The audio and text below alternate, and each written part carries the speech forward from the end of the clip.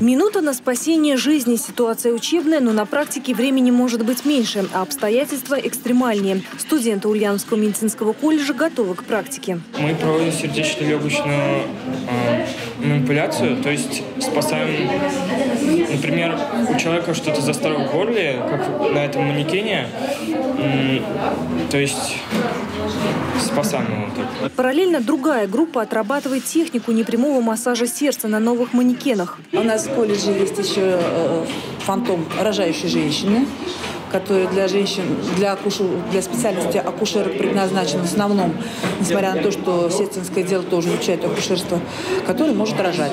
Рожать как настоящая женщина до 8-12 часов. Если здесь студенты на семи фантомах отрабатывают комплекс сердечно-легочной реанимации, то уже в соседнем кабинете будущие медсестры устанавливают систему для внутривенных вливаний. Сестринское дело, лечебное дело, акушерское дело. Сегодня в Ульяновском медицинском колледже обучается более 800 студентов, но и этого недостаточно, чтобы устранить кадровый голод.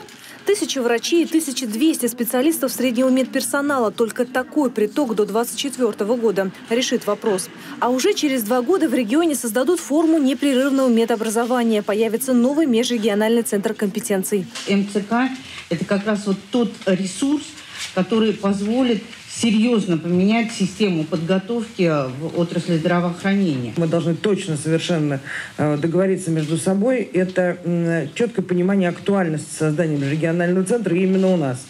Э, Без этой истории, без обоснования, без просчета, без цифр мы не двинемся дальше за поддержкой федерального центра, а мы именно этого хотим, потому что хотим, чтобы это был международного образца реально э, центр. МЦК решит сразу пять задач. Это и оснащение, это и повышение качества подготовки потенциальных кадровых ресурсов, это и мониторинг кадров. Плюс на его базе разработают новую модель школьной медицины. Мы должны посмотреть, э, какие у нас есть барьеры для того, чтобы, так сказать, там э,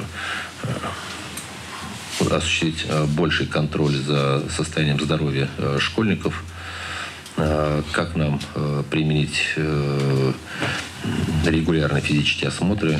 Проекты разрабатываются. Сейчас все на стадии обсуждений. Цель до 2022 года – создать систему непрерывного медобразования. Марина Тимофеева, Юрий Давыдов, репортер 73.